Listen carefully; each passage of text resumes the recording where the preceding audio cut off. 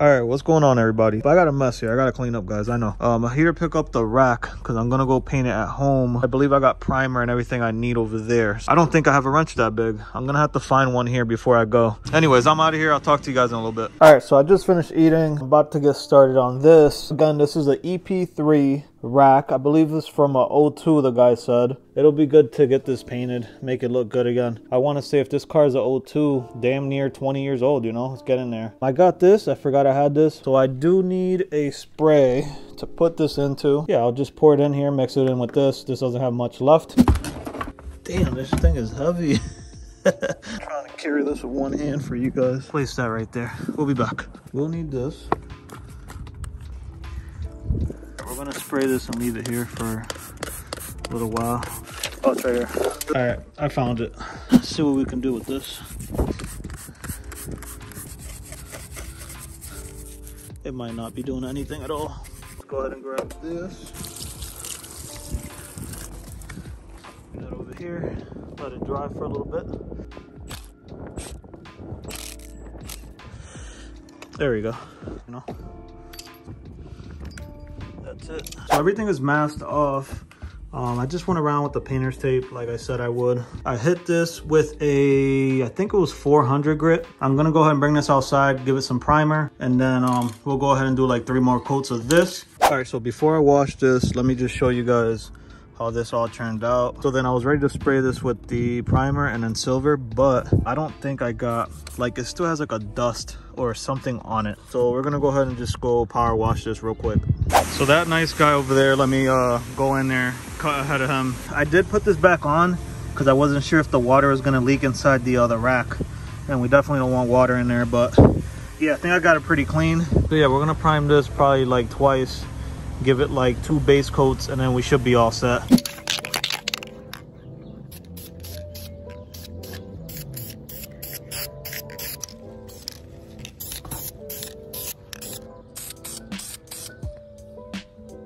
So now we're gonna hit it with this one. It's uh, universal aluminum. So in three, two, one. So there it is, done.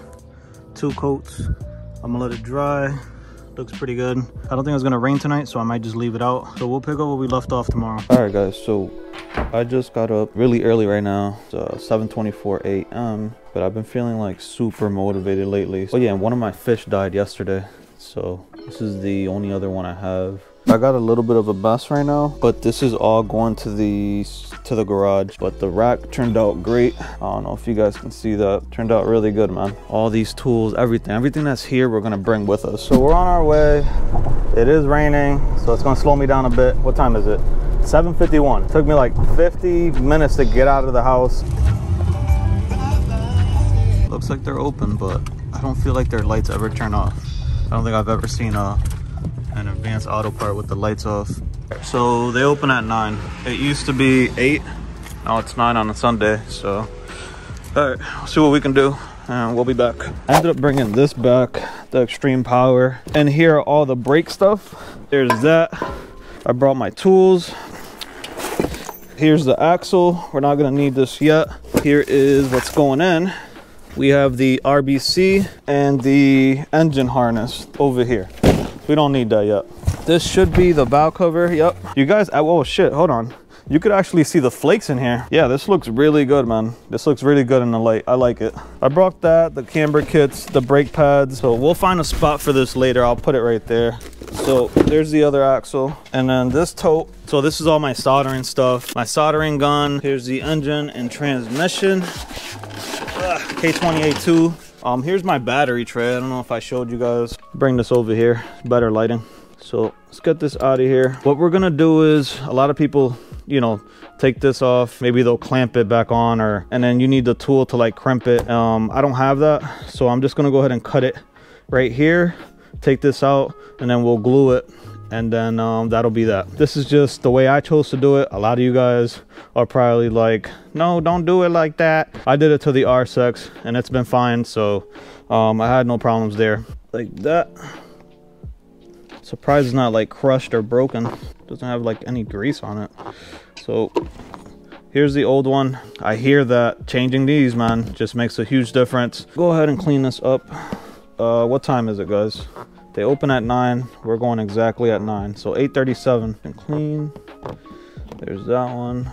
Go ahead and get the SHG one. So here it is, SHG. You guys can look it up. I'll leave a link down below. This will help with all the rack play problems you're having with the rack. If you feel it like swaying a little bit or, you know, stuff like that, uh, maybe it's time to upgrade this. So this is to go in like that that's pretty good fitment. That is perfect fitment actually. And then this one's gonna go in like that. I messaged them directly shg and they said you need wheel bearing grease. So when you guys are installing a rack right you're gonna need this you're gonna need this mount right? Without these two brackets you cannot install this rack. I'm gonna have to get some new hardware. Yeah so we're gonna go get some new bolts. They should be opening soon so i'll see you guys in a little bit. I got the Mobil One wheel bearing chassis suspension universal joint i don't know synthetic grease. And then i picked up these right here m8 1.5 by 25 millimeter. These are the ones that go here. So let's go ahead and test fit this make sure it's gonna fit.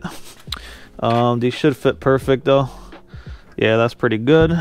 This is pretty good. So we got that. Let's go ahead and throw this on here.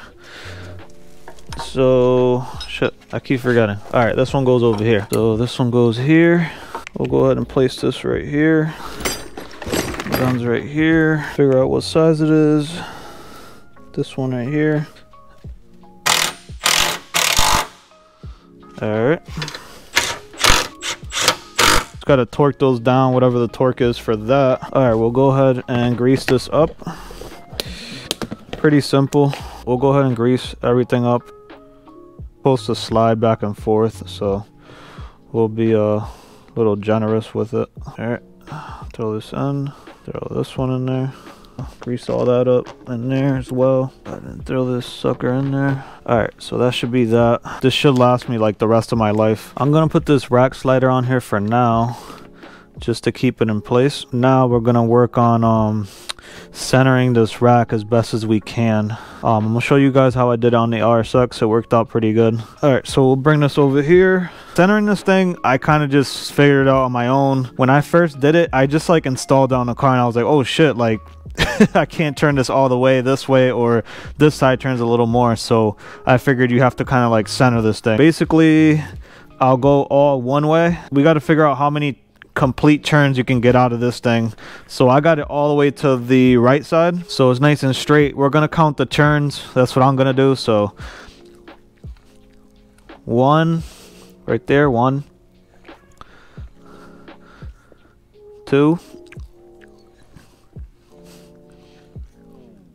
So two and three quarters. Um, I'll just say it's like two and a half kind of plus a little bit more.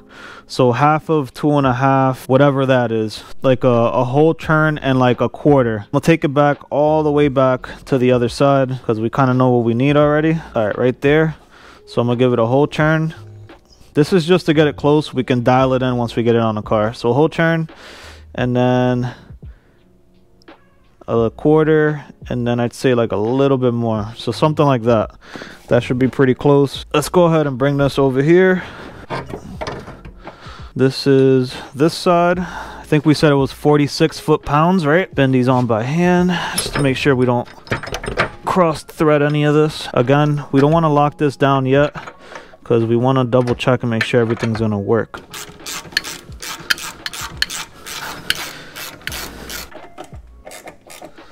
All right so this is the inside of the car. I just got a bunch of stuff inside. Everything is in here. But fuse box is down because we had to remove the fuse box harness. Not sure if you guys can see that but you want to get this um, steering thing into this first. Get that in there. You don't have to put the bolt in or anything yet because you might have to still adjust it whatever. Also when you're putting that in try and have your steering wheel nice and straight. So when you push it in everything is kind of lined up um, which way do we spin? All right, so this way, one, and we should get like a quarter. Yeah, that's it, that's pretty good. So here we go. This way, one, and we should get a quarter turn. Oh, one and a half. Since this one goes, um, does a full turn and then stops like halfway, we needed to stop sooner, right? We wanted to stop like maybe around, maybe like right there or something. So let's get it back to center, right? center. Um, we'll pull that off, right? This little spline thing, we'll pull it off, turn the spline on the rack, turn it clockwise just a little bit, maybe like, I don't know, just a tiny bit. And then we'll center the steering wheel up and then drop it back in and then we'll check it again. You can slide this thing off like that. You guys see that? You do have to take this 10 millimeter off. Take this off. There's gonna be one here, right? And another one over here. And then you can make all your adjustments. So I'm gonna go ahead and play around with that, get it even on both sides. I'll talk to you guys in a little bit. Let me just show you guys. One, two, see how it's kind of just stops right here, the H. At this angle, this should be the same on this side. So center, one, two, kind of an angle. So that works, that's perfect. Again, this is me just trying to figure this out on my own. This could be the wrong way, this could be the right way. I don't really know, but this is just me using my head. So I don't really know. So now that everything is all set, we can lock it in. Make sure you have the spline on this side nice and flat so you can stick the screw in. and then the first bolt you want to put in, right? You want to put these back in is going to be on this side because this side has that has that groove right there. So make sure you can slide this in. And since the spline on this side is very long, like the flat side, hold up. All right, you see how you got massive play right there? This can go in second. So there it is. All right, so the rack is all set in there. This thing looks, it's starting to look like something now, guys. Starting to look like something. Slowly, slowly. Set this to 46 foot-pounds right there. Lock that in. Um, I'll try and do it without an extension because that kind of changes the torque, I think. I think it does. Again, if you guys have an answer for this, the torque for this, let me know. But yeah, these are all tight now. This ain't going nowhere. This thing is, is awesome, man. It's nice when you have the right tools and you don't have to worry about any of that, you know? All right, since the rack is all set, I might as well show you guys the wiring, which is right here. And I did this already for the RSX, so the wiring is gonna be the same. I'm gonna put a card up on the right corner go and check that out. It's to teach you or it's to show you how to wire up the eps um, you guys can route them however you want. You don't have to do everything the way i do it. Probably do something like that. So go ahead and plug that in. Um, see if we can find the brackets that go here and here. This one i'm pretty sure this one went here. Yeah that definitely went there. So we'll put that here. So we just clip that in. That's gonna go like that on the bottom. It's perfect. This one's gonna clip in here perfect. This is gonna clip in here. This is my favorite part about builds, is putting the car back together. I, so I don't know where I put the rubber grommet, so I think this one might look a little better anyways. This one's from the RSX. The hole should be the same, so see here. I think that looks really good. I think we did pretty good for today. I want to separate the videos. So this will be a whole rack video in case you guys need this in the future. If somebody in the future is going to be doing a swap like this. I will see you guys in a couple days probably. I might be back tomorrow. And we made good progress today. So I'm out of here. Everyone be safe. Take care. I'll see you guys in the next video. All right. Peace.